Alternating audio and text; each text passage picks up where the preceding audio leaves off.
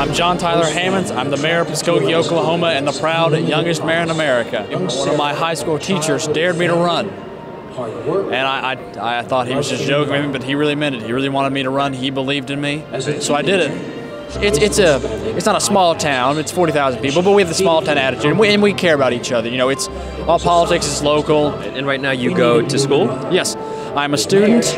I'm the mayor, and I work. Okay, so uh, which portion of your life takes up the most time? Probably being the mayor. A lot of my close friends always knew I'd do this. There's never any surprise. When I said I'm running for mayor, I said, so soon? All right.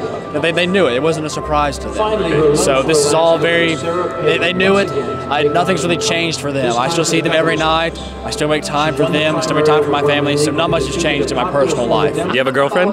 The position of First Lady of Muskogee is currently vacant, and I'm taking applications to fill the position. What's one of the coolest things that one of your supporters has, has said to you, whether it's online or in person?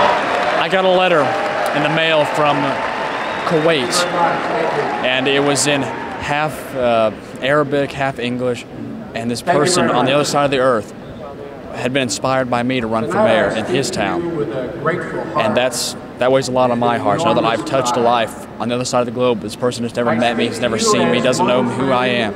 Yet I brought, I brought him hope. I brought him inspiration. So that's really cool. Did he win? I don't know. We don't know. I'm waiting for him to write me back. I'd like to be the DA someday. You know, that would be, you know, taking the bad guys to jail. That's that's always good. And you know, you know, the ultimate goal, you know, be be governor of Oklahoma. That's what I'd really like to do. But right now, I'm really focused on being the greatest mayor Muskogee's ever had.